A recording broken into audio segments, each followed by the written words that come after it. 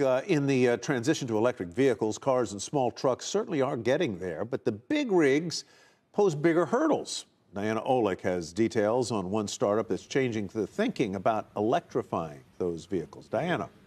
Well, Tyler, the trouble with electrifying big tractor trailer trucks is that the tractor component, the front part, needs a tremendous amount of power, more than the current charging infrastructure can handle, not to mention that the charging time is very long.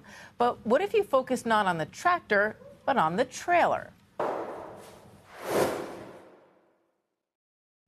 Big rigs make up just 10% of the vehicles on the road, but they account for nearly 30% of vehicle carbon emissions. Major truck manufacturers like Volvo, Freightliner, and Tesla are introducing electric tractor trailer trucks, but it's still a tiny and inefficient market.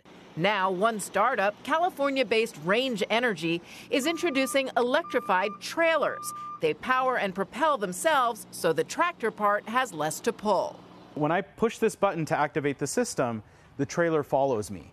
Doesn't matter if I'm an old Peterbilt semi truck or a brand new Tesla semi or just me pulling on it with the system activated.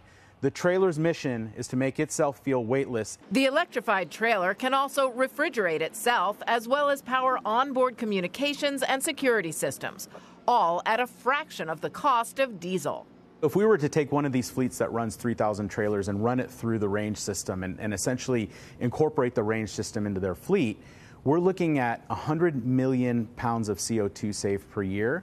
But even better than that, it equates to about $50 million in fuel savings alone. Northern Refrigerated Transportation is piloting the range trailers in California. COO Ricky Souza said they've tried electric tractors, but the long charging time for drivers is a hurdle. The trailers seems more of a natural fit because um, we have to load them and we load them at night and so it's not more dependent on a driver waiting for it.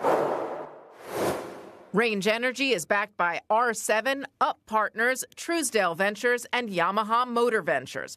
Total funding so far $31.5 million.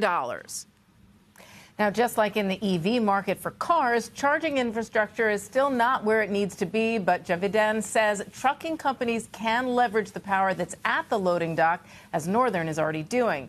He also said they're able to size the battery pack much closer to what you'd see in a passenger vehicle than what you would see in the other large commercial vehicles that are coming out. Back to you guys.